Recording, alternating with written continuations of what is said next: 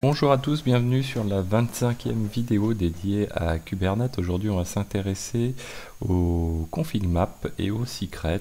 Donc, on va voir comment les créer euh, aujourd'hui. Alors, on va voir plutôt dans les principes comment les créer. On fera une autre vidéo aujourd'hui. On va pas s'intéresser à la configuration des config maps, c'est-à-dire on va pas s'intéresser aux manifestes qui permettent de les stocker vraiment sous forme sous forme de fichiers.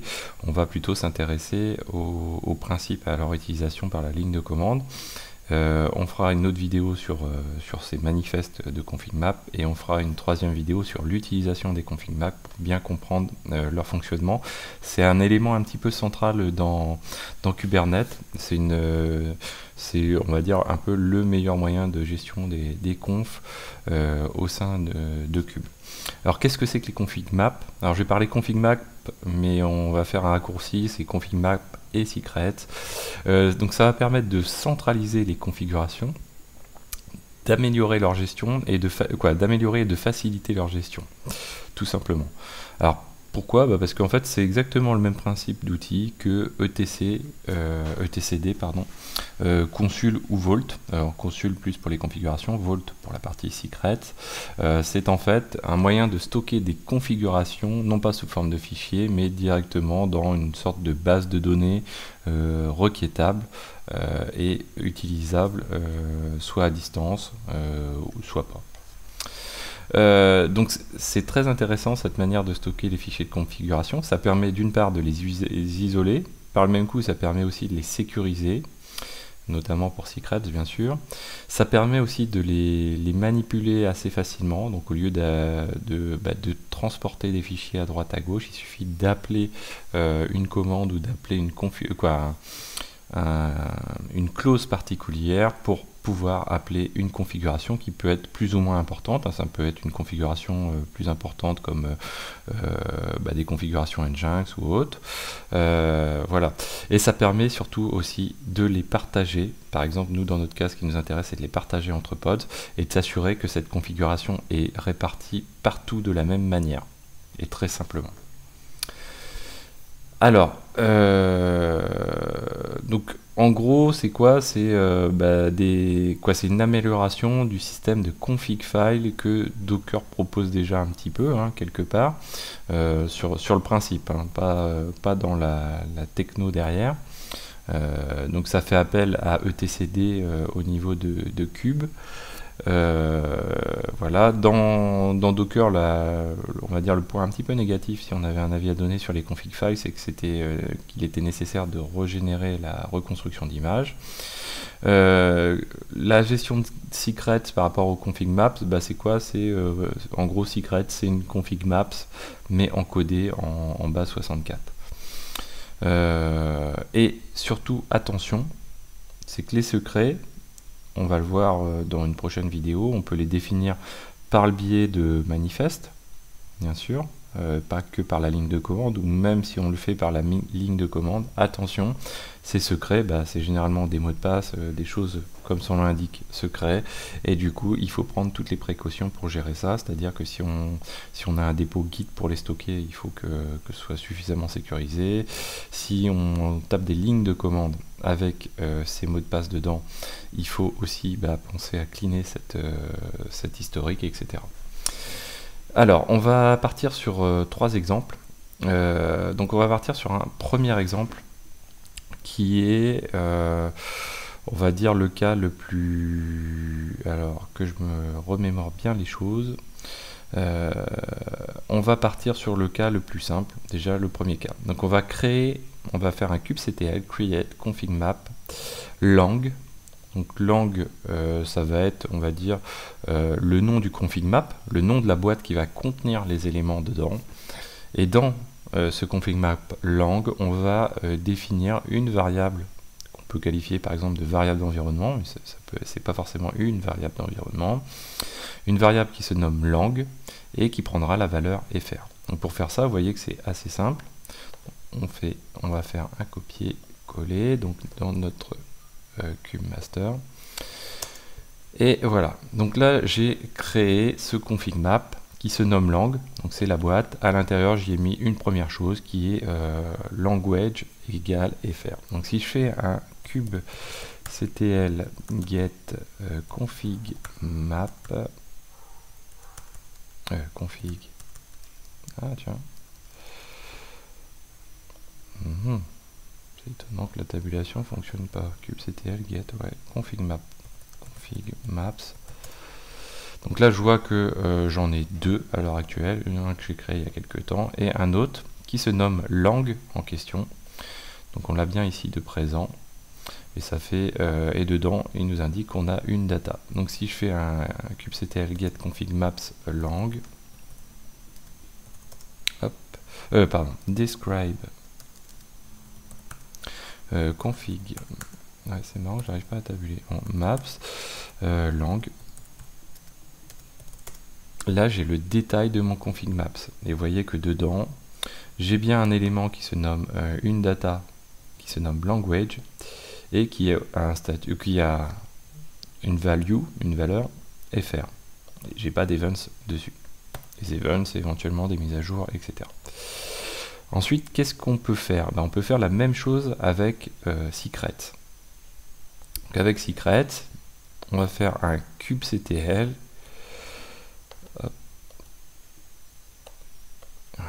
on va faire un kubectl create secret générique. Donc là, c'est le type euh, de, password, de type, pardon, le type de secret. Euh, son nom, on va dire que c'est MySQL underscore password, ça c'est pour l'exemple. Et puis de la même manière que tout à l'heure, on va lui adresser un from littéral et on va définir le MySQL password par exemple égal à mon mot de passe. Donc là, je tape entrée. Alors, je pense que je l'ai déjà en base. On va faire un kubectl delete secret euh, my euh, what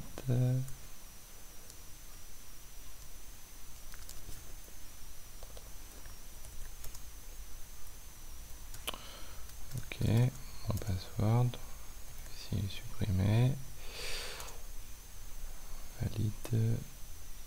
Euh, ah, euh, ok, je pense que ça doit être simplement le underscore ici.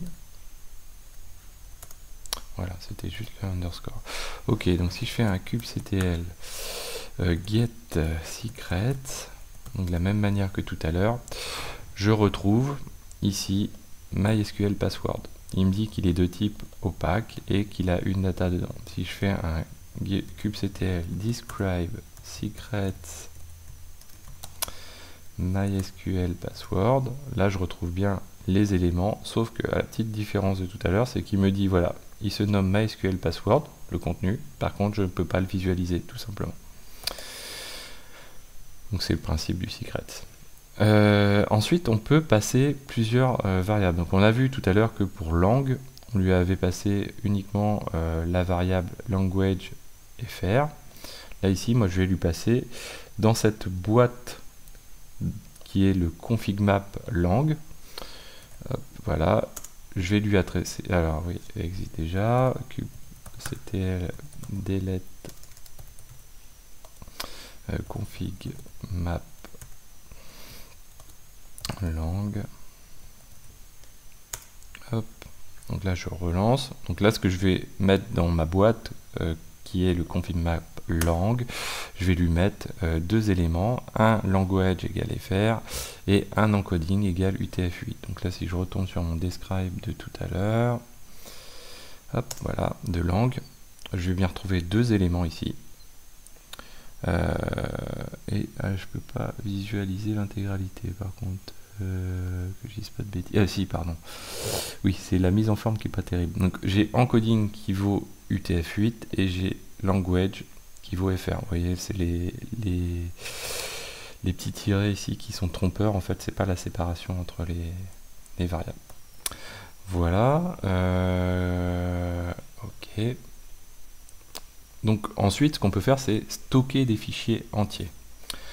Donc on va se rendre ici. Donc si je vérifie, donc si je fais un get euh, config map, je vérifie que je l'ai pas, pas encore d'éléments qui se nomment de la même manière. Euh, si j'ai ma conf, je pense que ça doit être celui-ci. Non, ça va. Ok, donc là ce qu'on va faire, on va créer un fichier de configuration euh, lambda. Donc vim ma conf .cfg. Là, je vais lui dire euh, URL de point http de point blog. Pardon. Et puis port de point 443 voilà je lui mets un petit peu n'importe quoi donc j'ai édité un fichier ma conf. Et nous ce qu'on veut faire c'est que notre config map contienne notre fichier en question. Donc là tout à l'heure on lui passait si vous vous rappelez, voilà, on lui passait un from littéral, ça veut dire qu'on passait directement la valeur euh, d'une variable. Là, on va lui passer un from file pour lui, pour lui tout simplement enregistrer euh, notre, euh, notre configuration. Donc, je fais un kubectl create config map. On va l'intituler ma configuration. Euh, et on a dit tiret tiret from file égale euh, ma conf.cfg. Donc voilà, donc là j'ai créé mon, mon, fichier de config map. Si je regarde ce qui s'est passé, donc j'ai bien le fichier, le config map, ma configuration qui a été créée. Si je fais un describe hop, sur le config map, ma, config, euh, ma configuration, Hop, voilà. Ici, je retrouve bien mon fichier, quoi, le nom de mon fichier, et les éléments qui sont stockés dedans. Donc si j'avais vraiment beaucoup de lignes, je pourrais même le visualiser. Donc c'est bien, vous voyez que c'est quand même un aspect de centralisation assez sympathique. Pour les secrets, euh, donc... Alors pour les mises à jour des config maps et des secrets, alors on verra ça euh, principalement quoi ultérieurement. Euh, on a plusieurs manières de le faire. Donc on, verra ça avec les, manifestes. Donc on peut faire un kubectl replace le nom du quoi -f et le nom du manifeste en question qui va venir remplacer le config map déjà existant. Sinon, on peut faire ici un kubectl edit config config euh, map et euh, ma euh, configuration Hop, voilà. Donc là, j'ai ouvert le, le, comment, le, fichier de config map. Et vous voyez qu'ici, la data du config map, donc ça, on le reverra dans une prochaine vidéo, contient donc un bloc qui est URL port et 443. Donc là, si je j'édite, je vais dire euh, qui de point value. J'enregistre ici et donc si je fais un, describe de config map ma configuration, je retrouve bien mon fichier qui est édité. Par contre, alors ce qui est important à retenir, depuis euh, tout à l'heure je vous présente les... Donc le, quand on fait un replace de manifeste, euh, on a un problème déjà sur la sécurité du contenu, il faut faire attention quand on a des secrets, parce qu'en fait on a du coup les mots de passe stockés dans un fichier, donc faire très attention. Il faut qu'il y ait un redémarrage pour la prise en compte. Pour, quand on fait un edit du config map, on n'a pas de redémarrage nécessaire pour une bonne prise en compte. Après, il existe une autre euh, manière de faire. voilà. C'est euh, tout simplement de dire, on va prendre cette partie-là. Voilà, ouais, on va la prendre comme ceci. Hop. Donc on va dire qu'on fait un kubectl create config map, euh, ma configuration, donc le nom du config map qui existe déjà, sur lequel on veut faire une modification. On dit euh, qu'on est en from euh, literal language égale ES, donc on veut modifier la valeur de language, qui est actuellement je crois FR, on va le passer en ES. On dit pour faire ça qu'on va générer en output le fichier YAML de ce config map et qu'on le fait à blanc. Donc on on va pas le faire pour de vrai, on va faire un dry run. Donc qu'est-ce que ça fait? Ça génère le config map en question. Tout simplement, ça génère notre, notre config map. Euh, donc on le reverra le, manifeste plus tard. Et une fois qu'on a fait ça, on va piper le résultat de cet élément-là dans un kubectl euh, replace-f et tiret du 6. Voilà. Donc ça va nous permettre de faire un kubectl replace-f du contenu qu'on vient de piper. Donc là je fais ça. Et donc là du coup si je fais un kubectl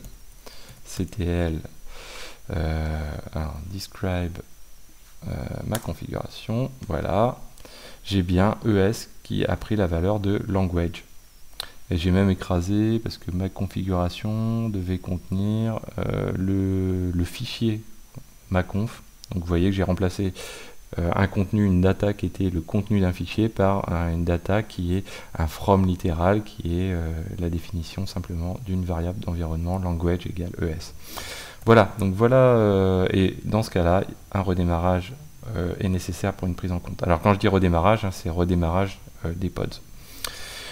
Voilà, donc j'espère que cette vidéo vous a plu. C'était un premier contact avec les config maps et les secrets. Euh, dans une prochaine vidéo, on verra donc la, génération de ces manifestes, l'utilisation de ces la définition de ces manifestes, et puis dans une autre vidéo, on verra l'utilisation par les pods de, de, ces outils config map et secrets. Voilà, donc j'espère que cette vidéo vous a plu, et je vous dis à très bientôt sur Xavki.